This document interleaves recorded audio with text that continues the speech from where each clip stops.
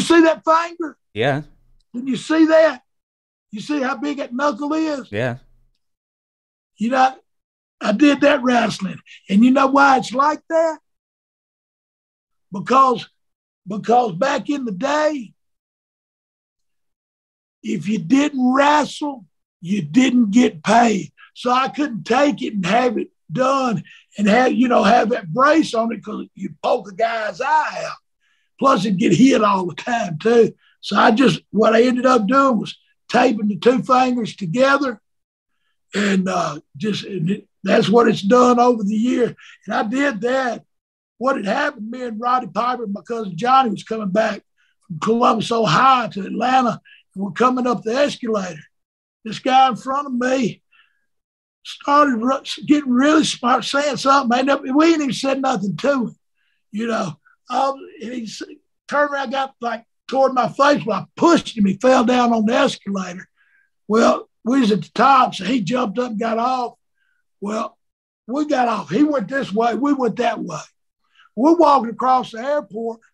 All of a sudden, my, I go, oh my God. He had took and threw a rock across the airport and hit me in my knuckle. Hit me in my knuckle. And I, I thought, what the heck? And uh, so anyway, it was broke. It was broke. And so in a few minutes, we could, well, oh no, we turned around, chased his ass down is what we did.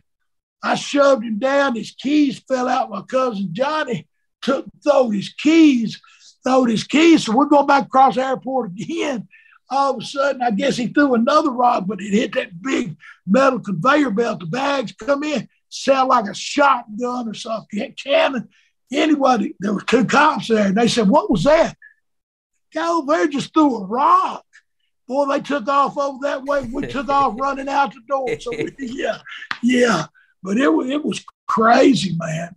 Man, so what is what's going on there? So is it is it all calcified now? I mean, can you get an operation to file it down now, or, or, or what's the score with it? Well, I guess I could go to the doctor, you know, and I guess I can do something about it. But it, you know, I've had it's been like that so doggone long. It don't bother me no more. No. You know?